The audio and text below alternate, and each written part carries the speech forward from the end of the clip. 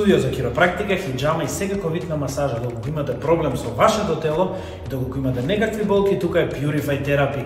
Исконтактирайте ги под видеото ќе биде нивниот Инстаграм профил. Добре дојавте во уште една епизода од Жешко Столче. Моите денешни гости ги познавате од Дайдиджер Шоу. За прв пат даваат интервју во некоја македонска емисија. Давид и Давор, познати како браќа Тарджик, само за вас на Жешко Столче. Давид и Давор, добре дојавте на Жешко Столче. Фала ти Никола, добре те најдовме. Како сте? Одлично, како си ти? Супер. Ова ви е прво гостување, мислам, негде за кај нас. Да, ова ни е прво гостување у некоја македонска така емисија, да даваме интервју, обично се по српски емисија, диџеј. Зошто се распадна For You толку брзо? Ти си решен да пукаш уште одма, да. А, беше многу директно. а? да, кој сакаш да, можеш сакаш ти да одговориш? Па може, ајде. А, да го превземам вака или? Може. Може, па. Па искрено нема некоја нема некој посебен разлог зашто се распадна Форио. Одлучивме дека така е најдобро затоа што не се знаевме ни од бевме споени у бенд. И одлучивме дека така е најдобро зашто немаше некоја голема хемија измеѓу нас. Мислам тоа нека ти беше видливо, некои луѓе може да го приметат тоа од страна. Така да нема некој посебен разлог и мислам дека вака е најдобро сега како што сме. Во какви односи сте сега со дечките што беа? Во солид, окей однос. Не сте скарани. Не сме скарани, али не сме ни нешто најдобри. Ние сме тука моментално, не се таму. Колку ви помогна надпреварувањето за лична промоција? Па, ако мислиш... Промовираше најбоље таму. Ако мислиш на, на балканско ниво, добро, баш солидно. Сега нормално секој треба да гриза за себе, секој треба да си направи своја промоција на некој свој начин. Некој пробува може да го прават тоа преку некои драми. Некој се смислува некои по сладки начини, али за у Македонија мене и така ме знаја, пошто ја почнав да се промовирам на TikTok уште пред две години почнав да правам видеа, така да у Македонија мене и така ме знаја луѓето. Вака на балканско ниво можам да кажам баш солидно, не можам да кажам ништо вау, ама сосема коректно. Неодамна извадивте вашата песна Јованка. Дали сте задоволни како поминува?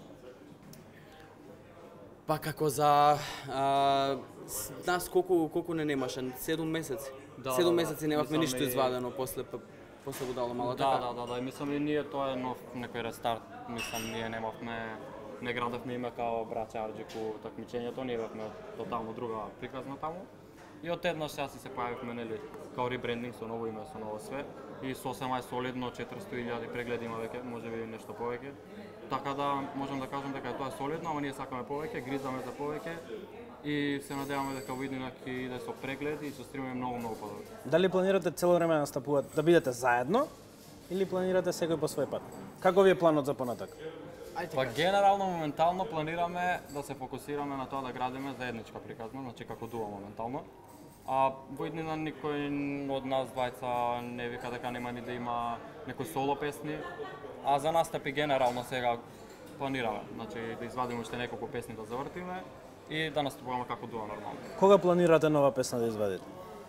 Е па види датумот не можам да го кажам. датум не, датумот не можам да го кажам. тимот, шо, како се Името не можам да го кажам, само можам да кажам Дарко Димитров и Значи ќе биде врв. врв. Пак ќе го вадите на DJ или? Да. Значи тоа хит не во е- најава. Па сега дали ќе биде хит, Тоа од публиката зависи. од публиката али зависи, ние правиме песна, публиката прави хит, така да ќе видиме. Има што со песната да. Рековте дека ќе настапувате, дали до сега сте добиле понуда за настап? Знам дека не. настапувавте со IDJ заедно, одевте. Да, да, да, да, да, имавме Дали уште сами? имавме уште неколку понуди, меѓутоа како група. Имавме понуди, Имавме една понуда како сами, али не беше нешто што е прифатливо така да го И двајцата сте активни на TikTok, цело време сте на лайв. Дали заработувате од тоа или тоа ви е само за забава? А види, јас не сум излекол никакви пари од тоа, и можам да кажам дека може да се заработи, може да се заработи убаво. Само што та, треба тоа да го гледаш како работа. Ние го гледаме како начин за промоција и забавно За забава. за тоа го правиме тоа. Сметате ли дека не добивате доволно подршка од македонските медиуми? Удри, а сакаш да одговориш? Мислам, па реално види се, ако кажам дека добиваме ќе излажам, зашто стварно не добиваме, мислам и секој македонски артист истото може би ќе ти го каже. Стварно порано може би добивале повеќе поддршка македонските артисти, затоа сега не добиваат многу и малку опаѓа македонската музичка сцена, али се надеваме дека со вакви емисии како твојава ќе ќе идеме напред наци тука. А ти какво мислење имаш? Не не поддржуваат искрено. Зашто мислиш дека не ве поддржува? А, не ја знам причината, мислам, предпоставувам какви прашања понатака ќе поставуваш, па ќе можеме да дискутираме на темава. Меѓутоа, мислам дека не само нас, сите македонски артисти генерално се доста подценети од македонските медиуми, што а, мислам дека за да иде напред македонската музичка сцена, а, треба тоа се промени. И се иде прашањето дали добивате подршка од некои од македонските артисти што работат слична музика на вашата. Чекај да размислам. Па искрено, ние некогаш сме биле и саботирани, можам да ти кажам. Сега нема да откривам што и како, али... Ајде откри да биде поинтересно. Не, не можам, тоа би било она дека баш би била драма, али генерално сме били саботирани некад. Така да некоја голема подршка можам да ти кажам дека се искрен ќе ти ќе бидам не добро. Дали е тоа причината поради што вадите на IDJ каналот?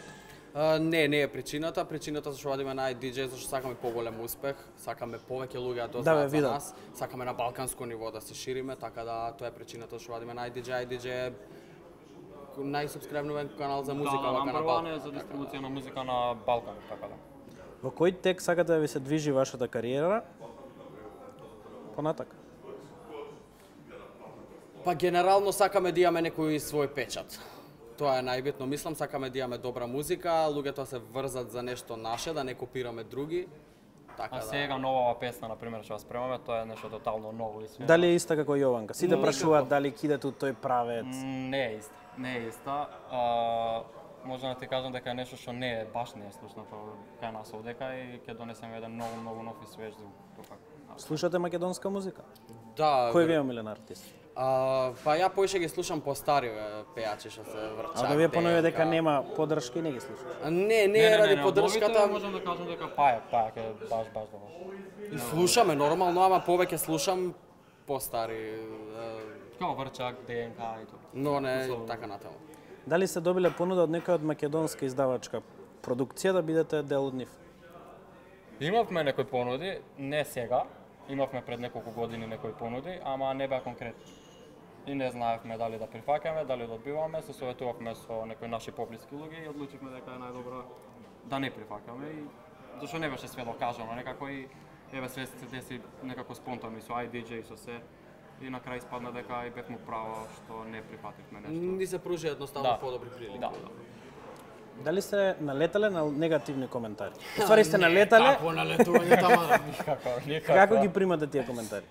Па на почетокот не кога почнав со музика, мислам јас од мал се бавам со музика, ама а, кога почнав да снимам TikTok, почнав некако да се навикнувам да има такви коментари полека полека.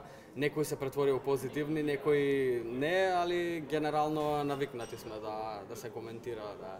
Битно е да се коментира лошо ако не се збори. Дали си размислил да престанеш тоа да го работиш? Не, никад. Значи не те допира. Апсолутно.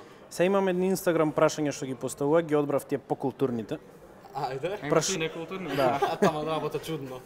Прашуваат колку кучиња имате. Е, Ајде одговор. Едно моментално. Имавме три, две ни почина и сега имаме само. Спрашуваат кој е подобар од вас двајца. Нормално дека јас. Е, ја, нормално, нормално. Прашуваат дали ќе дојдете во Босна. А, Босна па бевме еднаш, Да. али нормално, кога ќе почнеме сега со настав го изготвуваме песни. Кога ќе имаме некоја понуда за у Босна, Ќе одите. ќе одиме, да. За крај што ги им порачате на вашите следбеници од TikTok, фанови, А, да ги втаат на лајсе шалом. а, па можеме да им порачаме на луѓето што не следат да не пратат, пошто наскоро излегува нешто многу, многу ново, освежително, интересно. А, Дарко Димитров, IDJ и... И браќа Аджик. И браќа Арџик. Фала ви многу што Фала ти на тебе што не покани. Доколку ви фали декорација за вашите родендани, прослави, па дури и свадби, тука се KK Decorations. Под видеото ќе ви да оставя нивниот Инстаграм профил, влезете, заследете ги и видете зашто се најдобри.